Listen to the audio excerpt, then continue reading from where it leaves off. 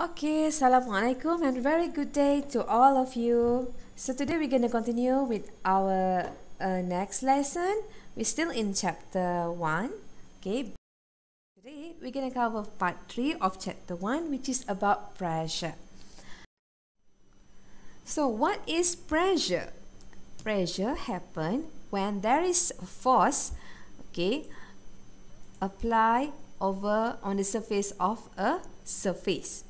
So basically we can say that in order to know how much is the pressure applied on a body, okay, we have to know how much is the force applied towards the surface area. So imagine that, okay, you just uh, pushing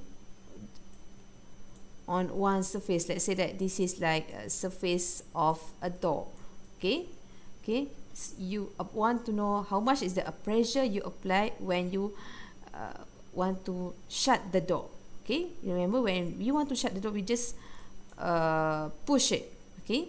So the pressure is actually force which is applied to the door surface towards the surface area okay?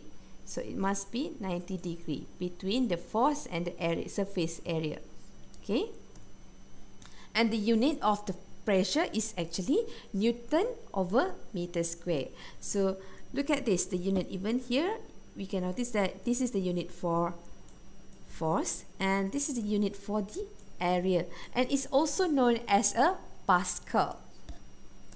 And this is the just a derivation of the pressure, okay, which is means that the amount of force exerted on a unit area of a substance or a body. Okay, let's do this example, example 1. Okay, for example, the figure below shows a container of a liquid with a movable piston. Okay, so imagine that this is just a container, okay, which is contain liquid here. So it has a piston which is can be movable, okay, depending on the load here.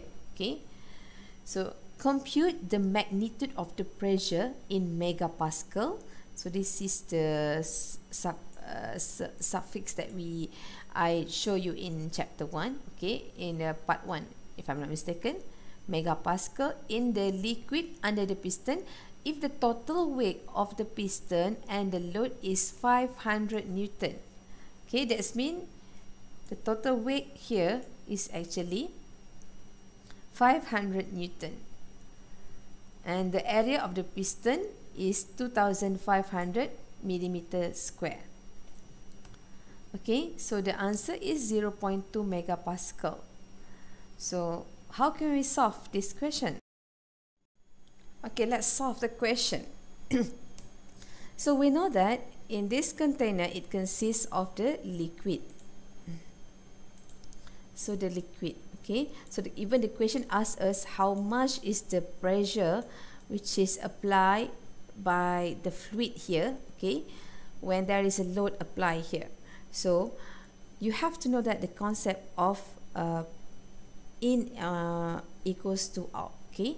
So for example if we if here okay there's a load with from the piston and the um, weight of the load which is the value is 500 newton.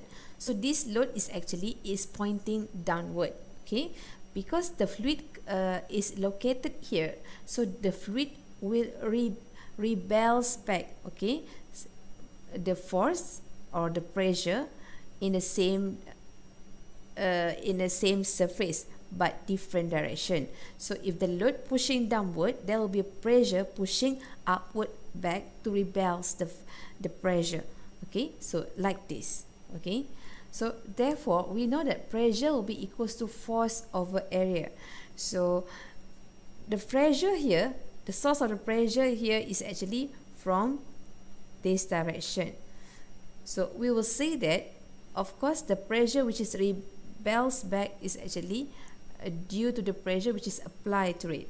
So F is actually from the load the weight of the load and the piston and the area is actually the surface area of the piston here which is given in the question Okay, so the force is equal to 500 and the area is given and for the area here is a bit tricky because you need to convert it into SI unit for area. Okay, the given unit for area in the question is um, millimeter squared. Okay, so we have to multiply with this uh, unit conversion in order to get the un the unit in SI unit. Okay, so we know that one meter equals to one thousand millimeter, and it has a square. So just squared here. So at the end, you get how much is the area. So lastly, you just substitute all this value into this formula bag and you manage to get the answer which is 0 equals to 0 0.2 megapascal.